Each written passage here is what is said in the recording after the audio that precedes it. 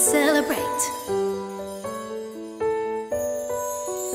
If we took a holiday, took some time to celebrate, just one day